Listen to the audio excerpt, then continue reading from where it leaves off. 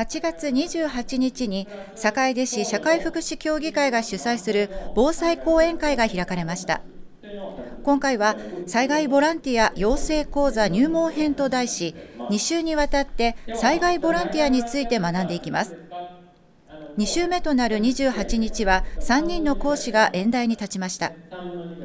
まず話をしたのは香川県社会福祉協議会地域福祉課の南條克也さんです。南條さんは社会福祉協議会が担う災害ボランティアセンターの役割というテーマで被災者と災害ボランティアをつなぐ窓口となる災害ボランティアセンターについて自身の経験を踏まえて伝えました。災害が起こった際に復興のお手伝いをする災害ボランティアはともすれば自己満足な活動で被災者を傷つけてしまったり身勝手な価値観の押し付けをしてしまう結果になることが少なくありません。災害ボランティアセンターはボランティアの皆さんに地域主体の支援を啓発し被災者にとって何が必要なのかを踏まえて作業をマッチングさせます。南條さんはこれまで災害現場で活動してきた経験から瓦礫を片付けるだけが災害ボランティアではない。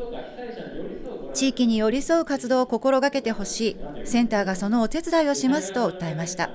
ただの泥かきセンターじゃなくて被災者に寄り添う災害ボランティアセンターに僕はなってほしいなというふうに思います、まあ、上のところでは僕は災害ボランティアで出会った言葉で泥を見ないで人を見る。とか、えーと、これちょっと方言ですけど瓦礫場見なんで人を見る。僕たちがとかしたことは人だいっていう熊本弁であのボランティアセンターの合言葉標語を作った大津町災害ボランティアセンターの言葉なんですけど、まあ、瓦礫とかそういうものを見るんじゃなくて人を見る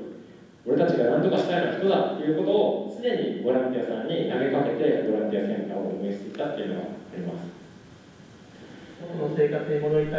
続いて坂出市社会福祉協議会の井上義人さんが災害ボランティアを始めるためにと題して被災地で活動するための準備や現地での活動の流れを話していきました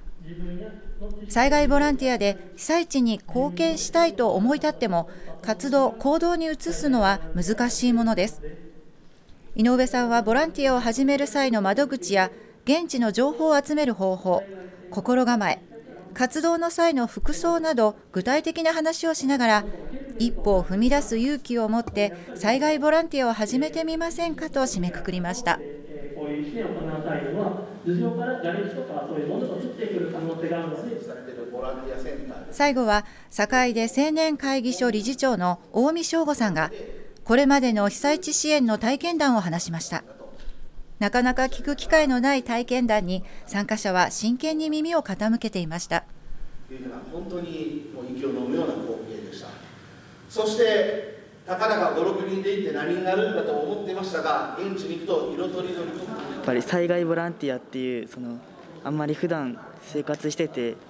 関わることがないのでやっぱり一から分かりやすく学ぶことができたしやっぱりこれを今後生かすことができるような学びが多かったので非常にいい体験ができました。自分が今まで知らなかったこととかも分かりやすく知ることができて今後なんかもっと勉強して、まあ、実際何かあった時に生かしてたい生かしたいと思いました